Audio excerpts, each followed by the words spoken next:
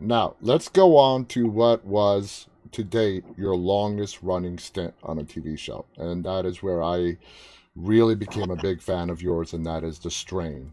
Uh, now, when The Strain started on FX, I saw the promos. I'm like, this looks interesting. Let me give it a shot.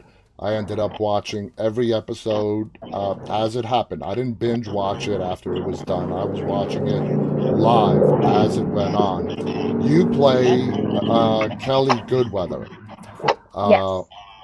who uh, is Ephraim, the character Ephraim's wife, uh, and you turn very quickly in the series, and I thought you were pretty much one and done.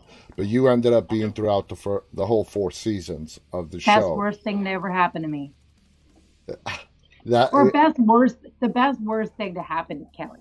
exactly, exactly. Uh, because I don't know if you did not switch, if they would have just ended up sacrificing you. So getting turned into, I guess, a vampire, uh, for lack of a better term, was the best thing that could have happened to your character. Now, when you got, pres first of all, did you have to audition for that character?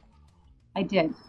Um, I had sent in a, you know, an audition tape, not knowing a lot about the graphic novels. I hadn't read the books yet.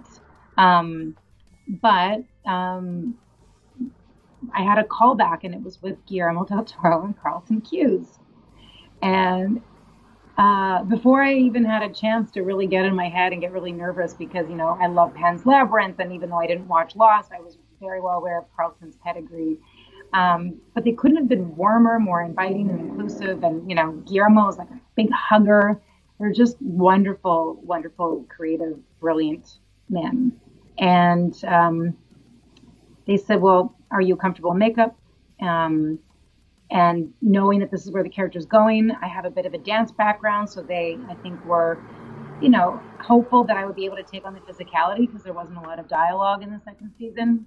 And um, yeah, I ended up with a screen test with Corey. I was pretty nervous, but they even said, "We could tell you were nervous, but your audition was so good." And when I got to the first table read, I think I I turned 40 that year and we were on a big trip with a bunch of friends. And I found out when I was very far away that I had to hurry up and come back because I got the part. And um, I showed up at the first table read, and Corey looks at me. He's like, "You're not really surprised."